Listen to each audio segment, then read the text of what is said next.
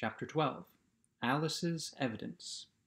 Here, cried Alice, quite forgetting in the flurry of the moment how large she had grown in the last few minutes, and she jumped up in such a hurry that she tipped over the jury box with the edge of her skirt, upsetting all the jurymen on to the heads of the crowd below, and there they lay, sprawling about, reminding her very much of a globe of goldfish she had accidentally upset the week before. Oh, I beg your pardon, she exclaimed in a tone of great dismay, and began picking them up again as quickly as she could, for the accident of the goldfish kept running in her head, and she had a vague sort of idea that they must be collected at once and put back into the jury box, or they would die. The trial cannot proceed, said the king in a very grave voice, until all the jurymen are back in their proper places. All, he repeated with, a, with great emphasis, looking hard at Alice as he said so. Alice looked at the jury box and saw that, in her haste, she had put the lizard in head downwards, and the poor little thing was waving its tail about in a melancholy way, being quite unable to move. She soon got it out again and put it right. Not that it signifies much, she said to herself. I should think it would be quite as much use in the trial one way up as the other. As soon as the jury had a little recovered from the shock of being upset, and their slates and pencils had been found and handed back to them, they set to work very diligently to write out a history of the accident, all except the lizard, who seemed too much overcome to do anything but sit with its mouth open, gazing up into the roof of the court. What do you know about this business? the king said to Alice. Nothing, said Alice. Nothing whatever? persisted the king. Nothing whatever, said Alice. That's very important, the king said, turning to the jury. They were just beginning to write this down on their slates when the white rabbit interrupted. Unimportant, your majesty, means, of course, he said in a very respectful tone, but frowning and making faces at him as he spoke.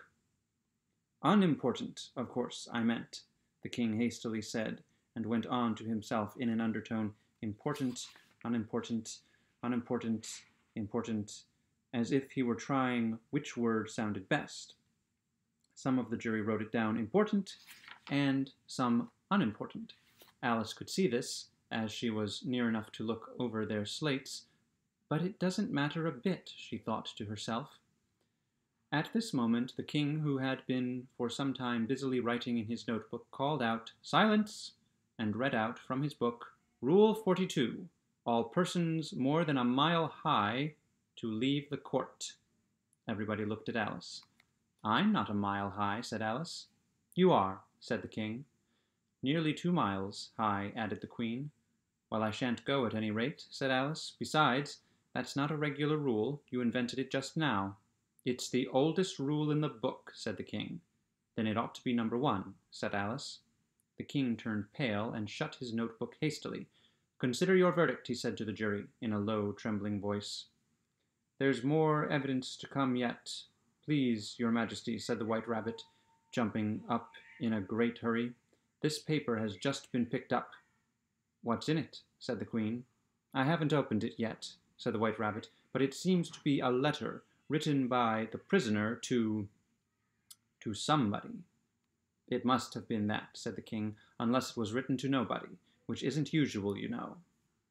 Who is it directed to? said one of the jurymen. It isn't directed at all, said the white rabbit. In fact, there's nothing written on the outside. He unfolded the paper as he spoke and added, It isn't a letter after all, it's a set of verses. Are they in the prisoner's handwriting? asked, the, asked another of the jurymen. No, they're not, said the white rabbit, and that's the queerest thing about it. The jury all looked puzzled. He must have imitated somebody else's hand, said the king. The jury all brightened up again. Please, your majesty, said the knave, I didn't write it, and they can't prove I did. There's no name signed at the end. If you didn't sign it, said the king, that only makes the matter worse. You must have meant some mischief, or else you'd have signed your name like an honest man. There was a general clapping of hands at this. It was the first really clever thing the king had said that day. That proves his guilt, of course, said the queen. So off with it doesn't prove anything of the sort, said Alice. Why, you don't even know what they're about. Read them, said the king. The white rabbit put on his spectacles. Where shall I begin, please your majesty? he asked. Begin at the beginning, the king said very gravely, and go on till you have come to the end. Then stop. There was dead silence in the court whilst the white rabbit read out these verses. They told me you had been to her and mentioned me to him. She gave a good she gave me a good character, but said I could not swim. He sent them word I had not gone, we know it to be true. If she should push the matter on, what would become of you? I gave her one, they gave him two, you gave us three or more. They all returned from him to you, though they were mine before. If I or she should chance to be involved in this affair, he trusts to you to set them free exactly as we were. My notion was that you had been, before she had this fit, an obstacle that came between him and ourselves and it. Don't let him know she liked them best, for this must ever be a secret kept from all the rest between yourself and me. That's the most important piece of evidence we've heard yet, said the king, rubbing his hands. So now let the jury, if any one of them can explain it, said Alice. She had grown so large in the last few minutes that she wasn't a bit afraid of interrupting him. I'll give him sixpence. I don't believe there's an atom of meaning in it. The jury all wrote down on their slates, She doesn't believe there's an atom of meaning in it. But none of them attempted to explain the paper. If there's no meaning in it, said the king, that saves a world of trouble, you know, as we needn't try to find any. And yet, I don't know, he went on, spreading out the verses on his knee and looking at them with one eye, I seem to see some meaning in them. After all, said I could not swim. You can't swim, can you? he added, turning to the knave. The knave shook his head sadly. Do I look like it? he said which he certainly did not, being made entirely of cardboard. All right so far, said the king, and he went on muttering over the verses to himself, We know it to be true. That's the jury, of course. If she should push the matter on, that must be the queen. What would become of you? What indeed? I gave her one, they gave him two. Why, that must be what he did with the tarts, you know. But it goes on, they'll all they all returned from him to you, said Alice. Why, there they are, said the king triumphantly, pointing to the tarts on the table. Nothing can be clearer than that. Then again, before she had this fit. You never had fits, my dear, I think, he said to the queen.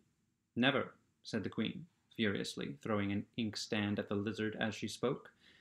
The unfortunate little Bill had left off writing on his slate with one finger as he found it made no mark, but he now hastily began again using the ink that was trickling down his face as long as it lasted. Then the words don't fit you, said the king, looking round the court with a smile. There was a dead silence. It's a pun, the king added in an angry tone, and everybody laughed. Let the jury consider their verdict, the king said for about the twentieth time that day. No, no, said the queen. Sentence first, verdict afterwards. Stuff and nonsense, said Alice loudly. The idea of having the sentence first. Hold your tongue, said the queen, turning purple. I won't, said Alice. Off with her head, the queen shouted at the top of her voice. Nobody moved. Who cares for you, said Alice. She had grown to her full size by this time. You're nothing but a pack of cards. At this the whole pack rose up into the air and came flying down upon her. She gave a little scream, half of fright and half of anger, and tried to beat them off, and found herself lying on the bank with her head in the lap of her sister, who was gently brushing away some dead leaves that had fluttered down from the trees upon her face. Wake up, dear Alice, said her sister. Why, what a long sleep you've had. Oh, I've had such a curious dream, said Alice and she told her sister, as well as she could remember them, all these strange things, strange adventures of hers that you have just been reading about. And when she had finished, Her sister kissed her and said, It was a curious dream, dear, certainly, but now run in to your tea, it's getting late. So Alice got up and ran off, thinking while she ran, as well she might, what a wonderful dream it had been. But her sister sat still just as she left her, leaning her head on her hand, watching the setting sun, and thinking of little Alice and all her wonderful adventures, till she too began dreaming after a fashion, and this was her dream. First she dreamed of little Alice herself. Once again the tiny hands were clasped upon her knee, and the bright, eager eyes were looking up into hers. She could hear the very tones of her voice, and see that queer little toss of her head, and keep to keep back the wandering hair that would always get into her eyes. And still, as she listened, or seemed to listen, the whole place around her became alive with the strange creatures of her little sister's dream. The long grass rustled at her feet as the white rabbit hurried by. The frightened mouse splashed his way through the neighboring pool, she could hear the rattle of the teacups as the March Hare and his friends shared their never ending meal, and the shrill voice of the Queen ordering off her unfortunate guests to execution. Once more the pig baby was sneezing on the Duchess's knee while plates and dishes crashed, crashed around it. Once more the shriek of the Gryphon, the squeaking of the lizard's slate pencil, and the choking up, the choking of the Suppressed guinea pigs filled the air, mixed up with the distant sob of the miserable mock turtle. So she sat on, with closed eyes, and half believed herself in Wonderland, though she knew she had but to open them again, and all would change to dull reality. The grass would be only rustling in the wind, and the pool rippling to the waving of the reeds. The rattling teacups would change to tinkling sleep bell, sheep bells, and the queen's shrill cries to the voice of the shepherd boy, and the sneeze of the baby, the shriek of the Gryphon, and all the other queer noises would change, she knew, to the confused clamor of the busy farmyard, while the lowing of the cattle in the distance would take the place of the mock turtle's heavy sobs. Lastly, she pictured to herself how this same little sister of hers would in the aftertime be herself a grown woman and how she would keep through all her riper years the simple and loving heart of her childhood, and how she would gather about her other little children and make their eyes bright and eager with many a strange tale, perhaps even with the dream of Wonderland of long ago, and how she would feel with all their simple sorrows and find a pleasure in all their simple joys remembering her own child life and the happy summer days.